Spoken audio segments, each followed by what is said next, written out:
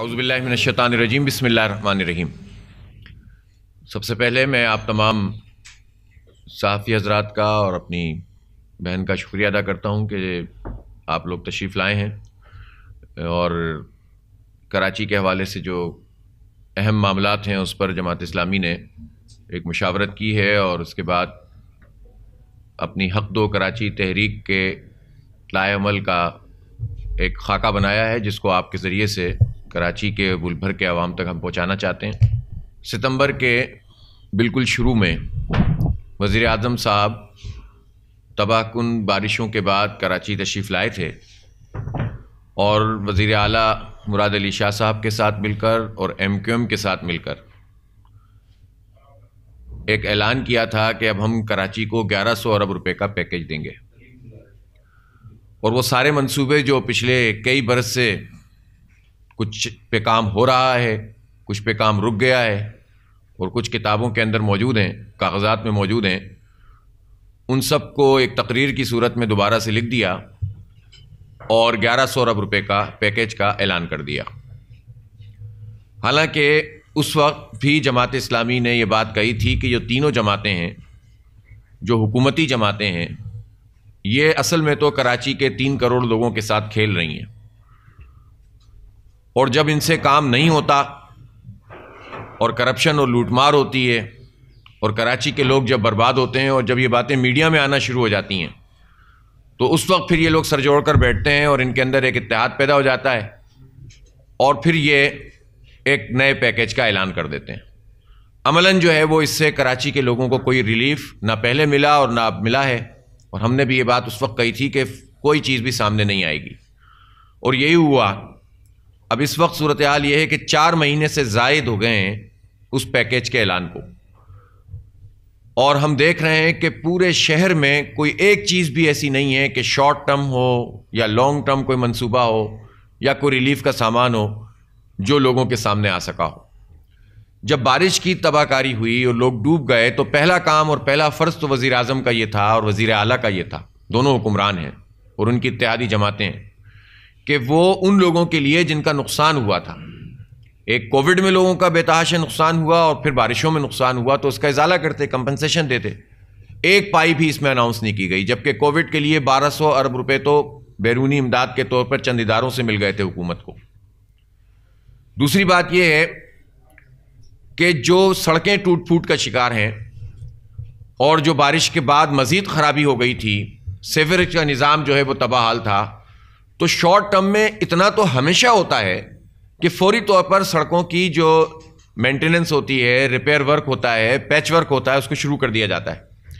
चार महीने गुजरने के बाद पाँच फ़ीसद भी इस पर काम नहीं हो सका। पाँच फ़ीसद भी। बड़ी बड़ी सड़कों के ऊपर खड्डे बने हुए। ये क्या हमने जो है वो जुर्म किया है कराची के लोगों ने कि जिनको ये सारी हुकूमती जमातें नाम लेती हैं कराची का मैंडेट की बात करती हैं कराची से, और ये सब मिलकर कराची के साथ ये जुल्म कर रहे हैं। कोई इसमें तखसीस नहीं है। पहले अगर नून लीग विफाकी हुकूमत में थी और ये काम कर रही थी तो अब पीटीआई विफाकी हुकूमत में और यही काम कर रही है। पीपल्स पार्टी तो मुसलसल कराची दुश्मनी का सबूत देती है।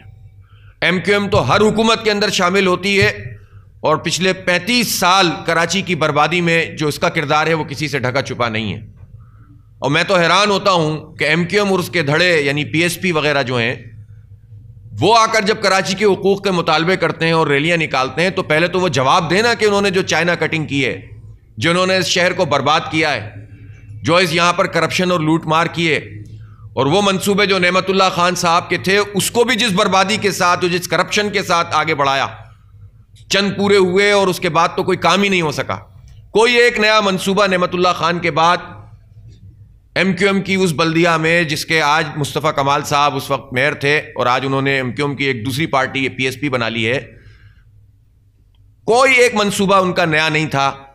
और जो थे उसके ऊपर भी जो अगर आठ करोड़ का काम था तो अट्ठाईस करोड़ और अड़तालीस करोड़ में होता था।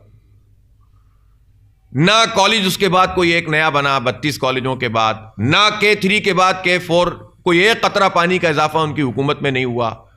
वो के सी आर कि जो बंद एमक्यूएम के ज़माने में हुई, और उसके बाद 2005 में उसका एक जुजवी सा अफ्ताह भी हो गया। लेकिन पाँच के बाद जब नेमत साहब, हालाँकि उनके डोमेन में नहीं आता था, लेकिन उन्होंने इस काम को अंजाम दिया था। और उसके बाद जो है वो मुस्तफ़ा कमाल के पूरे दौर में, और उसके बाद एडमिनिस्ट्रेटर के दौर में, फिर वसीम अख्तर के दौर में, और हुकूमतों के अंदर एम क्यू एम सब में शामिल रही। और 2005 से 2009 का वो ज़माना था जब 100 परसेंट इनको विफाकी हुकूमत की सपोर्ट हासिल थी, सूबाई हुकूमत की सपोर्ट हासिल थी। बेताज बादशाह थे पूरे सूबे के, सिर्फ़ कराची के नहीं, पूरे सूबे के बेताज बादशाह थे एम क्यू एम और ज़ाहिर इनके जितने भी लोग थे।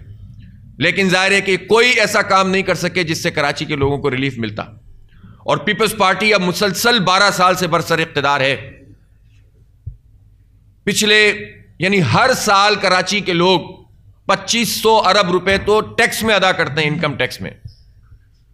और इनके लिए यह कहा जाता है कि 1100 अरब रुपए के पैकेज का हम ऐलान कर रहे हैं। तो यह सूरत हाल है जिसमें इन सारी हुकूमती जमातों ने पिछले तवील अरसे से कराची के लोगों के साथ यह जुल्म किया हुआ है, ज्यादती की हुई है, और बर्बाद करके रख दिया है इस शहर के लोगों को। जमात इस्लामी बहुत स्पेसिफिकली पूरी तैयारी के साथ, इसलिए कि हम इस शहर को जानते हैं, हमने इस शहर को डेवलप किया है। कराची के हकूक़ की तहरीक को चला रही है, आगे बढ़ा रही है। पिछले दिनों विफाकी काबीना ने एक जुल्म पहले किया था, कोटी, कोटा सिस्टम के तौर पर कि उसको गैर मुना मुद्दत के लिए उसमें इजाफा कर दिया था। और मैं पूछना चाहता हूँ एम क्यू एम से और उसकी पूरी क्यादत से कि विफाकी काबीना में एम क्यू एम मौजूद है और कोटा सिस्टम में जब गैर मुना मुद्दत के लिए इजाफे का फैसला हुआ और एक नाजायज तरीके से एस के ज़रिए उसको अनलिमिटेड कर दिया गया। तो उसके बाद से लेकर आज तक एम क्यू एम ने एक लफ्ज इस कोटा सिस्टम के खिलाफ बात नहीं की है। वो अपनी पोजीशन को वाजे करें। वो क्या कहते हैं? वो काबीना में शामिल हैं। और इस कोटा सिस्टम के हवाले से और तंजीमें भी जो है वो बात नहीं कर रही हैं। तो इसका मतलब यह है कि इस बात को इन्होंने कबूल कर लिया कि अब कराची के लोगों के लिए बस इसी तरह से होगा। फिर जो मुलाजमतों का मामला है, जो पीपल्स पार्टी खास तौर पर मुकामी इदारों में और सिंध हुकूमत में यह जुल्म हमारे साथ कर रही है कि कराची के नौजवानों का कोई हिस्सा नहीं है। हमने पिछले दिनों देख का एक चावल मीडिया के सामने पेश किया था कि छह हज़ार जो एलिमेंट्री, जूनियर एलिमेंट्री टीचर जो कहलाते हैं, जिसे आप कहते हैं, प्राइमरी टीचर्स, छह हज़ार आसामियाँ थी। और कराची के लिए सिर्फ़ तीन सौ तैतालीस असामियाँ थी। क्या जुर्म किया है कराची ने? एक तरफ़ तो आप इतने हसास हैं कि अगर कोई रवानी में कह दे कि सुबह सिंध और कराची तो आप बिलबिला जाते हैं कि हमारी धरती के ऊपर आप हमला कर रहे हैं। ओ भाई, कौन कहता है? आप लेकिन कराची को सूबे का हिस्सा नहीं समझती, पीपल्स पार्टी। कराची के साथ जुल्म करती है, बाकायदा इसको मार्जिनलाइज करती है। और सिर्फ़ वसाइल के लिए कहती है कि हमारी धरती है। खर्च नहीं करना चाहती, सिर्फ़ लूटने के लिए कराची को अपना हिस्सा कहती है। बाकी इसके नौजवानों को मुलाजमतें नहीं देती। इसके जो है वो इदारों को ठीक नहीं करती। इसकी सड़कें नहीं बनाती। इसमें पानी का मंसूबा आगे नहीं बढ़ाती। और ज़ाहिर है कि पीपल्स पार्टी के साथ पाँच साल, अभी अगर ताज़ा माजी को देख लें हम 2008 से 2013 तक एमक्यूएम पीपल्स पार्टी के साथ विफाक में भी और सूबे में भी इत्तेहादी हुकूमत रही है। और अब भी 2018 के बाद एमक्यूएम विफाक के साथ इतिहाद में शामिल है, जिसने कोटा सिस्टम का फैसला किया। मरदमशुमारी को विफाकी काबीना ने उसकी मंजूरी दी, जो एक गैरकानूनी अमल है, क्योंकि मामला सीसीआई में है काउंसिल ऑफ़ कॉमन इंटरेस्ट में पिछली मरतबा जब नवंबर में इसका इजलास हुआ सीसीआई का तो यह कहा गया कि यह एजेंडे पे होगी। लेकिन पीटीआई पीपल्स पार्टी एमक्यूएम इन सब का इश्तराक अमल है कराची के खिलाफ। उन्होंने उसको एजेंडे पे नहीं रखा। फिर कहा कि जनवरी में एजेंडे पे होगी। लेकिन अभी तक उसका एजेंडा वाजे नहीं किया गया है, जारी नहीं किया गया है कि वो मीटिंग कब हो रही है और उसका एजेंडा क्या है। और मरदमशुमारी जिसमें कराची की आधी आबादी खा ली गई है और उस आबादी को जो है सामने लाकर कहा गया है कि इसी को कबूल कर लो, इसी को मंजूर कर लो। और तुम्हारी किस्मत में यही है कि सन इक्यासी से लेकर आज तक हमारी मरदमशुमारी के साथ यही सलूक हो रहा है। हमारे पास वो सारी रिपोर्ट्स मौजूद हैं, जब उन्नीस सौ इक्यासी में यह मरदमशुमारी हुई थी तो उस वक्त इसकी आबादी को 55 लाख शो किया गया था। सन सत्तासी में जाकर नोटिफाई की गई थी मरदमशुमारी। और आपको मालूम है कि छियासी, सत्तासी से लेकर अब तक कौन इस शहर का बेताज बादशाह था? किसी ने आवाज़ बुलंद नहीं की। और यूएनओ की रिपोर्ट्स के मुताबिक, छपी हुई रिपोर्ट्स मौजूद हैं, जिसमें बात मौजूद है कि उस वक्त कराची की आबादी किसी सूरत अट्ठानवे लाख से कम नहीं थी। उस वक्त, उन्नीस सौ इक्यासी में। फिर उसके बाद जाकर मरदमशुमारी हुई उन्नीस सौ अट्ठानवे में। फिर हमें अट्ठानवे लाख उस वक्त जाके शो किया गया, जो हमारी आबादी उस वक्त किसी भी सूरत में पौने दो करोड़ से कम नहीं थी। फिर अब जब यह मरदमशुमारी 2017 में हुई तो वो आबादी के जो पौने तीन तीन करोड़ उस वक्त होनी चाहिए। सारी रिपोर्ट्स हैं, डॉक्टर आरिफ हसन की रिपोर्ट, मेहताब करीम की रिपोर्ट जो की रिपोर्ट्स, मास्टर प्लान जो एटी सेवेंटी सेवन का था उसके एतबार से, हर लिहाज से जो प्रोजेक्शन मिलती है उसमें कराची की आबादी उस वक्त जब यह मरदमशुमारी हो रही थी तो ढाई से पौने तीन करोड़ और अब तो तीन करोड़ से कहीं ज़्यादा एक्सीड कर चुकी है। लेकिन समझ में नहीं आता कि ये जो पूरा अशराफिया है, हुक्मरान तबका है इस्टेब्लिशमेंट है, कराची ने क्या किया है कि ये सब मिलकर कराची की आबादी को खा जाते हैं? हुकूमती जमातों से बात करो तो कहते हैं कि फौज इसमें शामिल थी। अब हमने जब इसका तफसीली जायजा लिया तो पता चला कराची के कितने डिस्ट्रिक्ट ऐसे हैं कि जिसमें जो शुमारियाती ब्लॉक है, उसमें ज़ीरो घराने हैं और ज़ीरो आबादी है। अब मुझे बता, ये कौन सी साइंस है? और कौन करता था ये? विफाकी इदारा, पाकिस्तान ब्यूरो ऑफ़ स्टेटिस्टिक्स। और पाक फौज के या रेंजर्स के जवान साथ होते थे। फौज कहती है कि हम तो लॉ एंड ऑर्डर के लिए साथ थे। लेकिन ज़ाहिर है कि उस वक्त के हालात में यह डबल एंट्री हुआ करती थी, मुझे याद है अच्छी तरह। इस पर आईएसपीआर को, फौज को भी अपनी पोजीशन वाजे करनी चाहिए कि अगर कराची की आबादी आधी शो की गई है तो इसमें फौज की पोजीशन भी वाजे होनी चाहिए, ताकि ये जमातें उनके पीछे छुप ना सकें।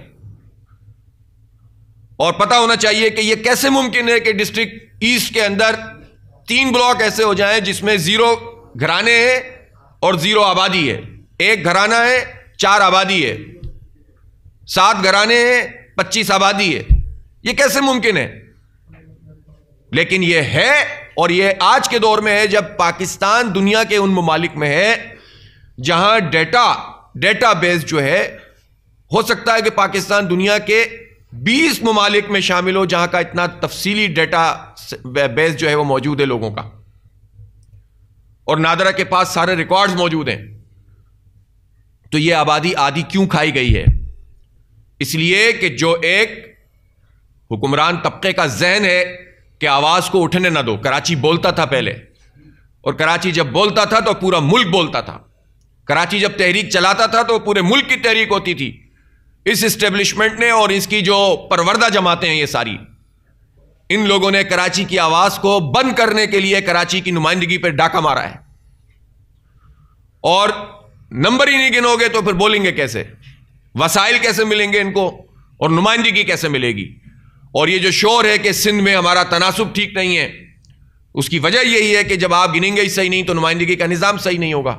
सुबह असम्बली की सीटें कम हो जाएँगी, जो हो गई हैं। वसाइल कम हो जाएँगे, जो नहीं दिए जा रहे हैं। तो हम ये समझते हैं कि कराची के तीन करोड़ से जायद लोगों का हक है कि उनको दुरुस्त गिना जाए। और वो सारी पार्टियाँ भी जो अब इस पर बात कर रही हैं, मैं तो हैरान हूँ, वो तो सब शरीक रहे हैं सारे इकतदार में इस खेल में। यानी एम क्यू एम और उसके जो धड़े हैं पी एस पी टाइप के, वो कैसे इस पर आवाज़ उठा रहे हैं कि हमारी मर्दमशुमारी कम हो गई है या कोटा सिस्टम पे तो खैर वो बात ही नहीं कर रहे ये तो सब शरीक रहे हैं इस जुर्म के अंदर, ये तो जवाब दें कराची की बर्बादी का। ये तो बताएँ कि कराची ट्रांसपोर्ट कारपोरेशन क्यों बंद की गई? जब एम क्यू एम का वज़ीर ट्रांसपोर्ट मौजूद था उस वक्त। यह जवाब दें कि कराची सर्कुलर रेलवे सन निन्यानवे में बंद की गई, जब बेताज बादशाह थी एम क्यू एम पूरे शहर की अपनी मर्ज़ी से शहर खोलते थे, अपनी मर्ज़ी से शहर बंद करते थे। तो पीपल्स पार्टी के साथ इश्तराक करके और विफाकी जमातों के साथ मिलकर यह कराची के साथ जो खेल खेला गया है, इसकी आवाज़ को दबाने का, इसमें यह सब शरीक जुर्म है। इसलिए कराची के लोगों को अपनी आँखें खोलनी होंगी और खुल रही हैं। देख रहे हैं लोग। और कराची को अपनी असल की तरफ़ लौटना होगा। जमात इस्लामी ने इस शहर की तामीर की है, तरक्की दी है, दयानतदारी से काम किया है। कोई इख्तियार हमारे पास इस वक्त नहीं है। लेकिन जब कौम मुश्किल में आई, कोरोना की सूरत हाल में तो जमात इस्लामी का वर्कर था जिसने जान हथेली पर रखकर लोगों के घरों पे खामोशी के साथ राशनों को पहुँचाया और स्प्रे किया सरकारी इदारों में, तालीमी इदारों में, थानों के अंदर, चर्च में, मसाजिद में जाकर स्प्रे किया डिसइंफेक्ट किया, राशन पहुँचाया लोगों को। वायरोलॉजिकल लैब बनाई हमने, जहाँ पर बहुत ही कम कीमत के अंदर लोगों का सब्सिडाइज रेट पर टेस्ट किया जाता है और जो खिदमत हमसे हो सकती है, हमने की है। जब बारिश हुई तो जमात इस्लामी का रजाकार सामने आया और उसने लोगों को रिलीफ का काम किया। तो यह क्यों हमारे साथ ये ज्यादती और सलूक किया जा रहा है? तीसरी बात यह है कि जो मुलाजमतों का मामला है, जिसका मैंने अभी आपको एक हवाला दिया, हम ये समझते हैं कि कराची के नौजवानों को मकामी इदारों के अंदर तरजीही बुनियाद के ऊपर मुलाजमत मिलनी चाहिए यह आइन की स्पिरिट भी है। और पुलिस के अंदर भी हमारी नुमाइंदगी कराची के मकामी लोगों की होनी, दुनिया भर में यह सिस्टम मौजूद है जहाँ काउंटीज़ का सिस्टम है, जहाँ शहरी हुकूमतें मौजूद होती हैं, कि वो जो मकामी लोग, एक पुलिस होती है कम्युनिटी पुलिस उसे कहा जाता है, वो मकामी लोगों पर मुश्तमिल होती है और उसका ट्रांसफ़र नहीं हो सकता उसके अलावा। लेकिन यहाँ लोगों को क्यों पुलिस में नौकरी नहीं दी जाती? या जो हमारे बल्दियाती इदारे हैं, अब तो आहिस्ता आहिस्ता सब उन पर मुश्तमिल हो गए हैं कि जिसमें मकामी लोगों की नुमाइंदगी अब ख़त्म होती जा रही है, जो रिटायर होते चले जा रहे हैं।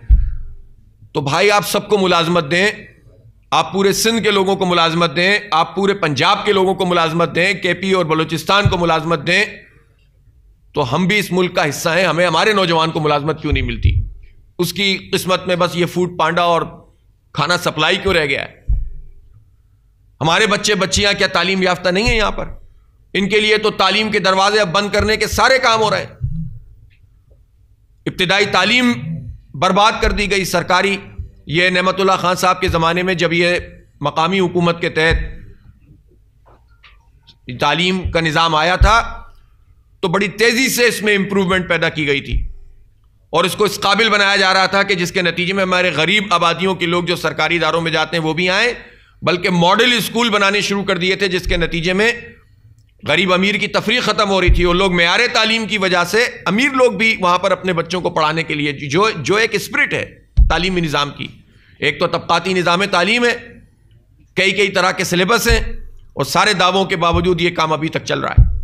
और दूसरी तरफ़ यह कि अब तो मिडिल क्लास के लोगों के लिए भी तालीम के दरवाजे बंद हो गए अभी ताज़ा आपने देख लिया एम केट में जो लड़कों के साथ, बच्चे, लड़कियों के साथ सलूक किया गया है।